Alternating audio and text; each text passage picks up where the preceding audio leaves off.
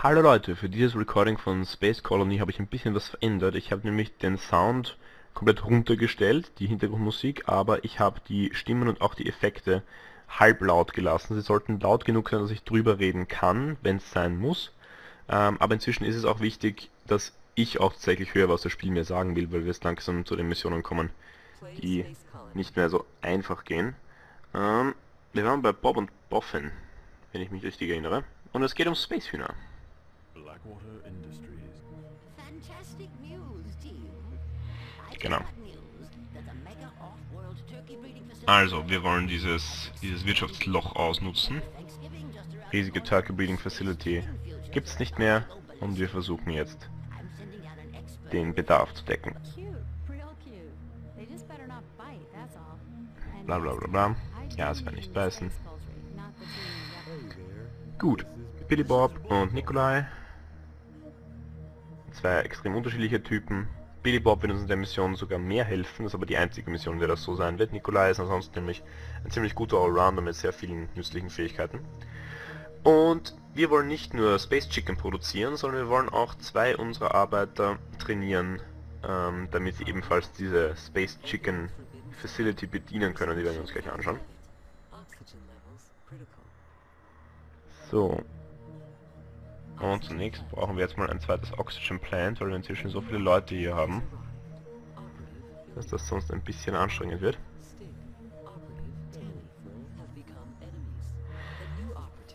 So, badam, badam, badam. Stick kann da oben eigentlich noch weiter abbauen, das ist alles ganz okay. Gut, zunächst mal werden wir zwei Betten brauchen. So, einmal für Billy Bob und einmal für den guten alten Nikolai.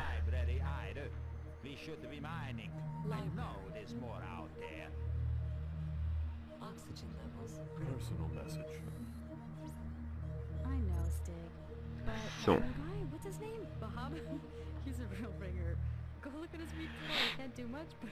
In dieser. Library hier können wir jetzt Leuten nämlich neue Skills vermitteln. Es hängt aber davon ab, was für Skills freigeschalten... Was machst du? Okay, ich war nur kurz verwirrt, wohin der Typ abhaut. Ähm,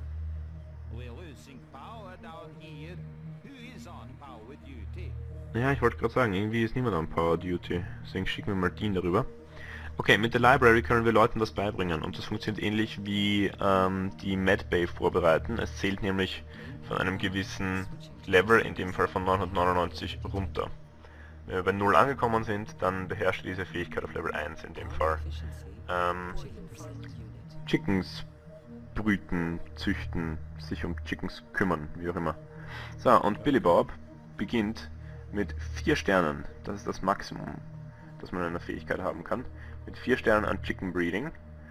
Er hat auch sonst sogar eigentlich eine ganz ganz gute Auswahl an Fähigkeiten, die man wieder brauchen kann. Zum Beispiel ähm, aufräumen, reparieren und äh, Essen beschaffen. Ja, Jäten ist jetzt nicht so wahnsinnig wichtig, aber ey, wieso nicht? Gut, bauen wir hier noch zusätzliches Warehouse. Wir können eigentlich auch mal anfangen hier das, äh, das ganze Eisen zu verkaufen, oder?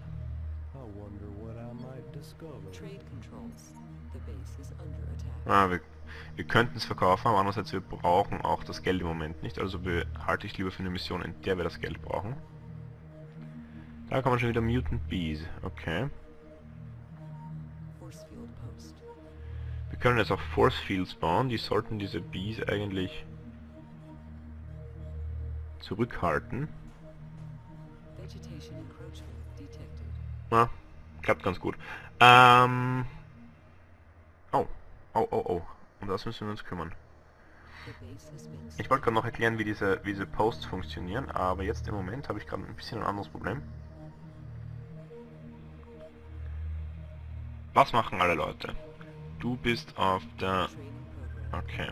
Ja, wir werden Stick zurückholen. Stick wird jetzt mal jäten gehen. Weil hier direkt vor uns pflanzen sich schon wieder einige dieser Dinger hin. Okay. Nikolai hat einen Stern in, in Energy und in Sauerstoff. Das ist ziemlich nützlich, deswegen werden wir noch auf beide schicken. Aber in erster Linie auf Power. Ja. Gut, Nikolai ist fertig. Jetzt müssen wir noch Candy dazu bringen, das zu lernen. Das heißt, wir werden auch Candy in die Library schicken, auch wenn wir es jetzt kaum noch sehen hinter der ähm, hinter dem Chicken Extractor, der nicht Chicken Extractor heißt. Ähm, aber egal. Das bedeutet allerdings, dass wir Tammy wieder zum Putzen schicken können, weil bisher Candy geputzt hat, weil es tatsächlich ihr aller einziger Skill in diesem Spiel ist. Naja, was soll's. Control's opened up a new zone to us.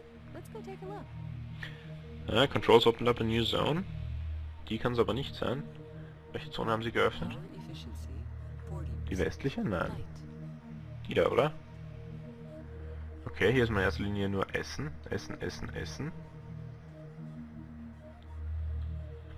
Noch immer nur Essen.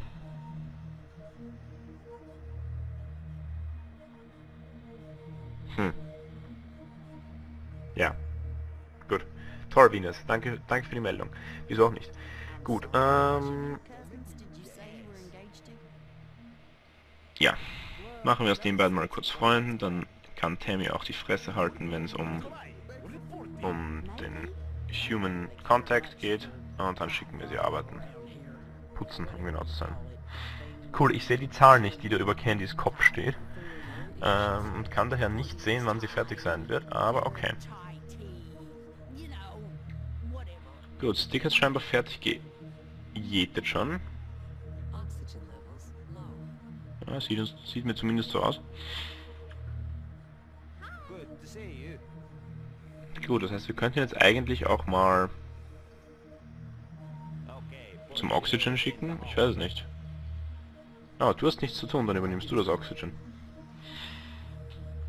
Gut, ähm, wir sehen außerdem, wir verlieren nicht nur nach einer gewissen Zeit, nämlich in 15 Tagen, sondern auch, wenn einer unserer Kolonisten stirbt.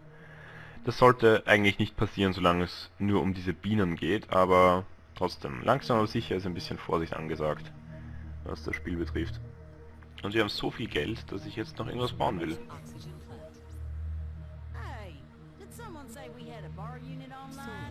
What's it doing up in the mothership? Ain't no use up there. Let's get it down here. So, bauen wir immer noch ein paar Solarplants. Können wir nicht, weil wir kein Geld haben. Ähm, ja, es gibt eine Bar tatsächlich. Die funktioniert auch sogar mit dem mit dem grünen Essen-Stuff. Wie groß ist denn die? Naja, schon ganz groß für eine kleine für einen kleinen Biodome. Ja, das muss ich mir noch überlegen. Wir haben ziemlich viel Essen, holy shit.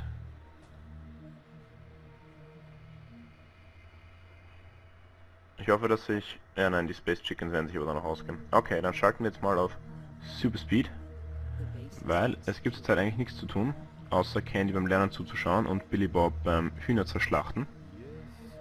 Oder Hühner vorbereiten.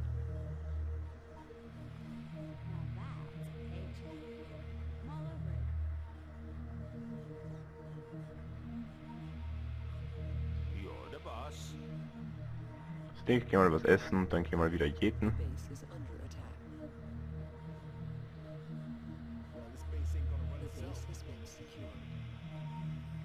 Stick, du musst nicht arbeiten gehen. Geh was essen. Drecksack.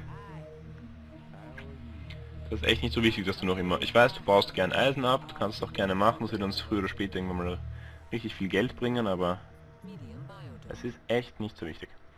Okay, bauen wir hier mal noch einen Medium Biodome. Corridor. Nikolai, reporting. Der kriegt hier auch noch sogar einen Airlock, wie wir schnell herausfinden. Und jetzt kann man auch gerne mal eine Bar bauen. Passt. Das heißt, auch das wird mit diesem Nahrungsschleim, whatever, versorgt. Hm, vielleicht stellen wir nachher auch die Medbay darüber und machen daraus noch einen noch einen Bettenraum. Ich weiß ehrlich gesagt nicht, wie viele Kolonisten wir noch in der nächsten Mission dazu kriegen. Ich glaube, wir sind jetzt langsam dann auf Max für diese Mission. Weil ich meine, die Mission läuft schon längst. Wir haben Eisen abgebaut, jetzt werden wir ähm, Chickens abbauen. Ich glaube, es gibt nur noch vier Missionen oder so, die wir auf, dieser, auf diesem Planeten machen. Und dann sind wir dem ersten Planeten eigentlich auch schon fertig. We will strip your world bare. Ja. Holt sich mal ein bisschen Friendship. Das sind eh die beiden Leute, die am meisten Friendship brauchen. So, dann kann Candy nämlich auch essen gehen und dann kann Candy nämlich auch mehr lernen gehen. Dumme Candy. Machen wir nur kurz einen Check, ob irgendjemand verletzt ist. Nur, dass nicht aus dem Nichts einfach ein Todesfall kommt. Nope, schaut alles ganz gut aus. Oh, habe ich Stick gerade aus Versehen hier runtergeschickt? Ich glaube, das habe ich gerade gemacht. Sorry Stick, hier hol dir mal ein bisschen Geld. Ah, ich, äh, ich würde so gern sehen, was, wie weit Candy hier am Arbeiten ist, aber ich wohl einfach darauf verlassen müssen, dass sie es früher oder später schafft.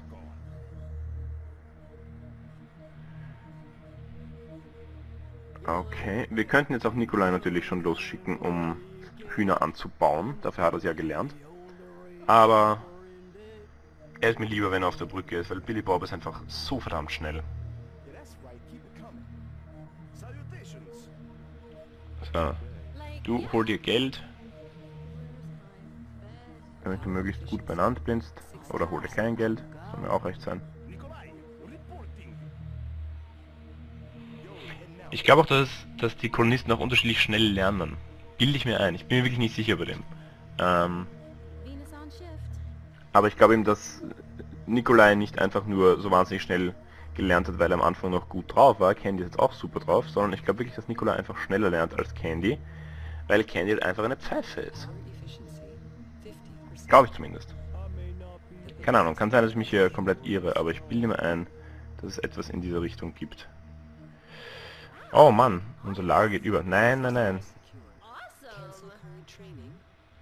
Du bleibst beim Lernen. Ja, wir können schon keine Warehouses mehr anschließen. Weil wir viel zu viel von allem haben. Naja. Das ist ein Problem, mit dem kann ich sogar leben. Trotzdem werden wir vermutlich ein bisschen Iron verkaufen müssen, einfach nur um Platz zu machen.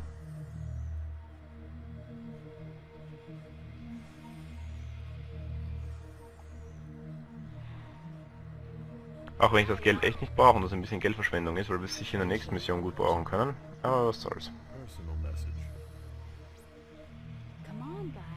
Still a little short on chickens in the warehouse. We all need to work a little harder. Ja, seriously, get your shit together. Nein, wir sind eigentlich, wir sind gut dabei. Die Hälfte der Zeit, wir sind bei ungefähr drei Viertel der Chickens. Ich hoffe nur, dass die verdammte Candy endlich mal weitermacht. Na, bitte. Sehr gut. Gut, hol dir mal Geld und wenn Billy Bob dann sowieso jetzt gerade Pause machen geht, dann kannst du gleich mal übernehmen und das zu Ende bringen. Ach, Billy Bob. Ich schau dir gerne beim Tanzen zu, Junge. Ach, ist der verkannte Held. Er ist ein bisschen wie Hodor. Nicht ganz so extrem, aber... Naja. Wie gesagt, sie alle entsprechen irgendwelche Stereotypen und Billy Bob ist eben Stereotyp des leicht redneckischen. Bauernjungen aus äh, Alabama. Ich weiß gar nicht, das steht im Handbuch. Lass mich mal kurz das Handbuch suchen. Ah. Woher kommt denn Billy Bob? Tut, tut, tut. Another day, Tennessee. Naja, fast. dollar. 33. Holy shit, Billy Bob. Mit 33 so rumzulaufen ist mutig, ja? Okay, und tatsächlich wird Candy diese Mission jetzt zum Abschluss bringen. Oder wollen wir... Nee, lassen wir das lieber Billy Bob machen. Ich habe echt keine Zeit, hier Candy zuzuschauen, das dauert ja ewig. Candy, geh mit Leuten reden, daran bist du besser als im tatsächlichen nützlichen Arbeiten. So. Okay, es ist schon ein ganz deutlicher Unterschied, wenn es um Speed geht.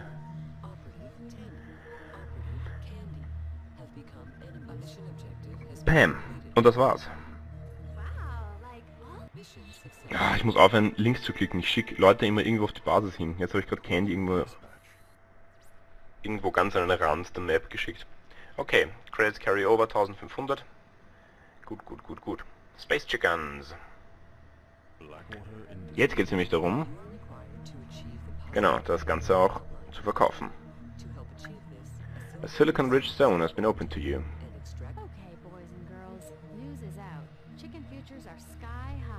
Genau. Also nach dem großen Crash der Chickenfabrik müssen wir jetzt schnell schauen, dass wir möglichst viele Chickens an den Mann bringen. Insgesamt müssen wir auf 20.000 kommen, wie wir das machen, ist egal.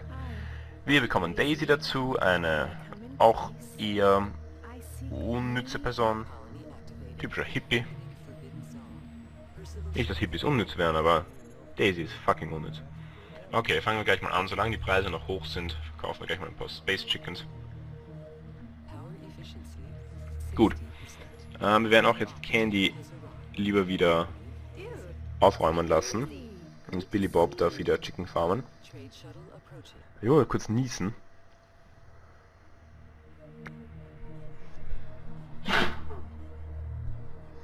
Ah, kurz überlegt, ob ich meinen Mic ausschalten soll, aber dann macht es immer so blöde Faxen beim wieder einschalten. Deswegen habe ich kurz nur meinen Mic weggedreht. Das war sehr, sehr professionell. Ah. Okay. Daisy kriegt jetzt mal ein Bett.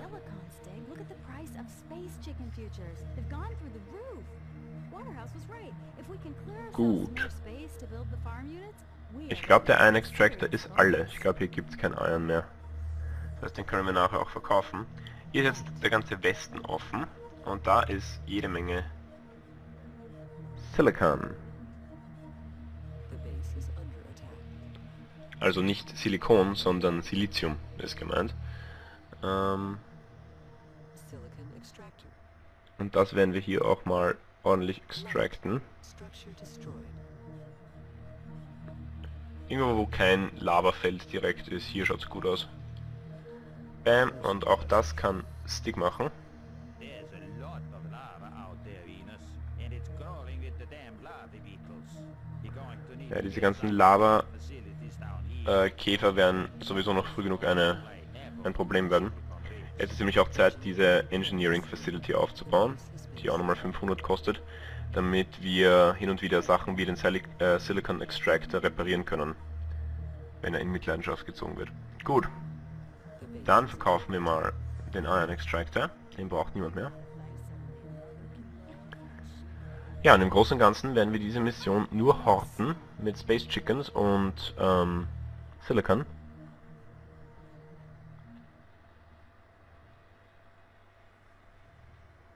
Ja, was kann Daisy? Daisy kann nicht wahnsinnig viel. Naja, eigentlich, also das wäre gar nicht mal so schlecht. Das ist, ähm, haben wir das schon? Nein, das haben wir noch nicht. Äh, das ist in einer Biofarm neue Ressourcen anbauen. Wenn mir die natürlichen Ressourcen für dieses, für diesen Nutrient Extractor ausgehen, dieser, diese Weed hier, ähm, dann kann ich genmanipulierten Bambus anbauen, den ich genauso ernten kann. Das heißt, dafür ist Daisy sogar gar nicht schlecht. Aber jetzt so im Großen und Ganzen, meh. Schicken wir sie mal auf die typische Duties, Oxygen und Power. Wenn man sonst nichts zu tun hat, mache ich das eigentlich immer mit den Leuten. Das sind Stationen, die können immer ruhig doppelt und dreifach besetzt sein. ist besser als sie sind unterbesetzt. Gut. Space Chickens. Verkaufen wir auch mal das übrig gebliebene Eisen. Wir brauchen es nämlich auf dem Planeten sowieso nicht mehr.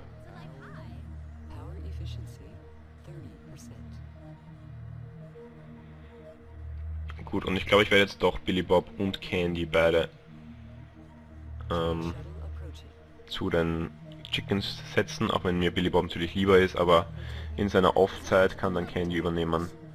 Und damit bricht der Nachschub an Space Chickens nie ab. Was vor allem jetzt noch wichtig ist, weil äh, Space Chickens immer weniger wert werden, je länger die Mission andauern wird.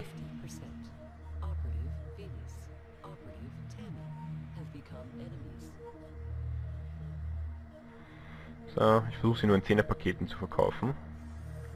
Damit ich eine Übersicht darüber habe, ähm, mit wie viel Geld ich jetzt rechnen kann, einfach um das gleichmäßig zu halten. Ist hier schon jemand reingeknallt? Nein. Noch halten sich die Würmer hier zurück. Wir sehen noch unsere Lichtquellen sind noch alle unbeschädigt, der Silicon Extractor selber auch. Wir sind jetzt schon fast auf 10.000. The base Ziemlich gut. secure. The base is under attack. Diese ganzen Meldungen von The Base under attack, the base has been secured. Oh oh oh, Tammy, was ist denn los? Will niemand mit dir reden? Wo bist du denn? Da. Werdet Freunde. Tammy gehört zu den Personen, die nämlich sehr leicht durchdrehen, wenn sie zu wenig Kontakt haben. äh, dann kann es sein, dass sie uns einfach wirklich, wirklich durchdreht. Und dann fängt sie an die Basis zu zerlegen etc. Das heißt, das ist wirklich nicht cool. Eine Zeit lang ist es lustige zuzuschauen, aber früher oder später stolpert sie überzeugt, dass echt teuer war und dann ist es nicht mehr cool. Okay, auch das Silizium sehr, sehr viel wert. Aus dem Silizium kann man später ähm, äh, Electronics machen. Wie so ein echtes Silizium der wichtigste Bestandteil jedes Computerchips. Dazu wird es aber auf dem Planeten, glaube ich, nicht mehr kommen. Bilde ich mir ein. Electronics braucht man dann meistens erst für Androiden oder für Kampfroboter und dazu braucht man sowieso auch noch Iridiumkerne. Das haben wir noch gar nicht gesehen, Iridium. Ähm, werden wir aber, glaube ich, noch sehen auf diesem Planeten, wenn ich mich richtig erinnere. Ja, wir haben es vielleicht ein bisschen mit den drei Sauerstoffplants und mit den ganzen Warehouses übertrieben, aber hey, wir können sie jederzeit verkaufen.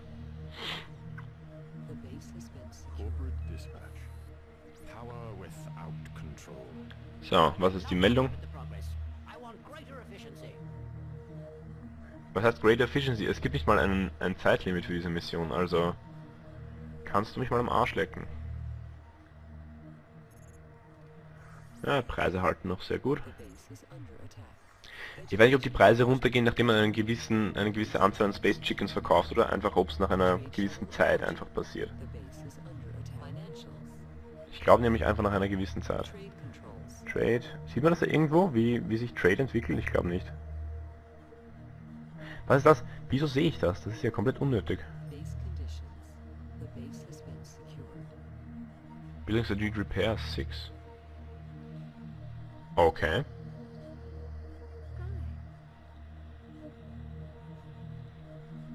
Äh, schicken wir Venus mal in die Repairing Facility.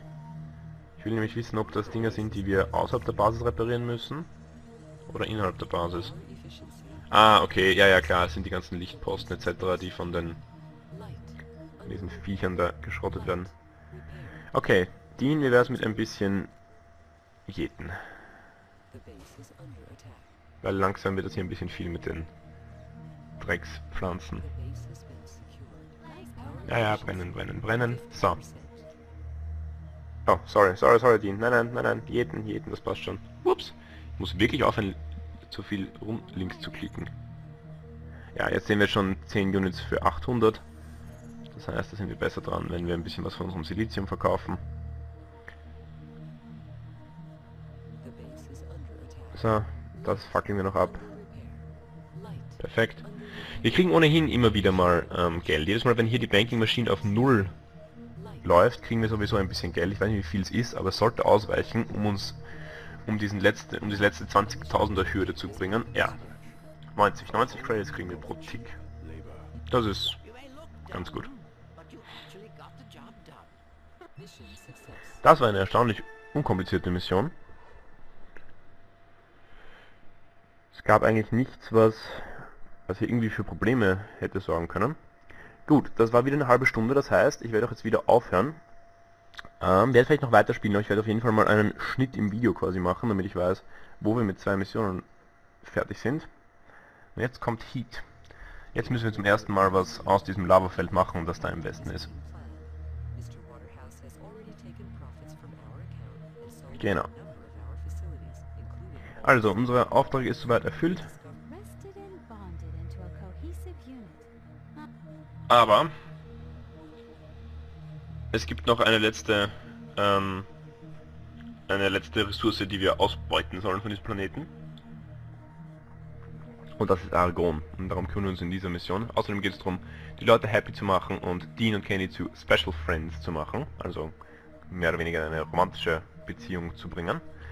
Und das sind, glaube ich, die letzten beiden Leute, die uns auf diesem Planeten ähm, joinen werden. Vassilos und Charles. Die sind auch noch beide ganz schön nützlich. Also vor allem Charles. Vassilos bin ich mir jetzt gar nicht so sicher, was der überhaupt für äh, Skills hat. Aber egal. Gut, das schauen wir uns das nächste Mal an. Das heißt, ja, wir nähern uns dem Ende des ersten Planeten. Schauen wir mal kurz. Heat ist der vorletzte, die vorletzte Mission, ja. Okay, das heißt, nächstes Mal werden wir die letzten beiden Missionen machen und dann sind wir fertig mit Catherwood, Catherwood, wie auch immer der Planet heißt. Und dann, ich weiß noch nicht, was ich dann mache. Vermutlich zuerst den Civilian Path und dann erst den Military Path. Gut, also bis zum nächsten Mal. Ciao Leute.